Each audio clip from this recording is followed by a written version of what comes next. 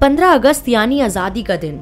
हर साल हमारे देश में स्वतंत्रता दिवस 15 अगस्त के दिन मनाया जाता है। हमारा देश 15 अगस्त उन्नीस के दिन ब्रिटिश सरकार से आज़ाद हुआ था। ब्रिटिश सरकार ने लगभग 200 साल तक भारत पर राज किया था। यह भारत का राष्ट्रीय त्योहार है। 15 अगस्त उन्नीस के दिन भारत के प्रथम प्रधानमंत्री जवाहरलाल नेहरू ने दिल्ली में लाल किले के लाहौरी गेट के ऊपर भारतीय राष्ट्रीय ध्वज फहराया था। इस दिन को झंडा फहराने के समारोह और सांस्कृतिक आयोजनों के साथ साथ पूरे भारत में मनाया जाता है। जाति धर्म को भुलाकर इस दिन पतंग उड़ाकर स्वतंत्रता दिवस मनाने के लिए अपनी अपनी छतों पर जाते हैं। लेकिन क्या आपने कभी सोचा है कि स्वतंत्रता दिवस के दिन ही पतंग क्यों उड़ाई जाती है? क्यों इस दिन काय पोचे और आयबो से पूरा भारत गूंजता है? स्वतंत्रता दिवस के दिन ही पूरा आकाश पतंग से ढका होता है। वैसे तो हम किसी भी दिन और किसी भी महीने पतंग उड़ा सकते हैं, लेकिन सबको स्वतंत्रता दिवस का ही बेसब्री से इंतज़ार होता है। हम आपको बताएँगे कि क्यों इस दिन पतंग उड़ाई जाती है और यह जानने के लिए हमें पीछे हिस्ट्री में जाना होगा। सन 1927 में हमारे देश के लोगों ने ब्रिटिशर्स का विरोध किया था और यह विरोध साइमन कमीशन के खिलाफ था। साइमन कमीशन सात ब्रिटिश सांसदों का समूह था, जिसका गठन 1927 में भारत में संविधान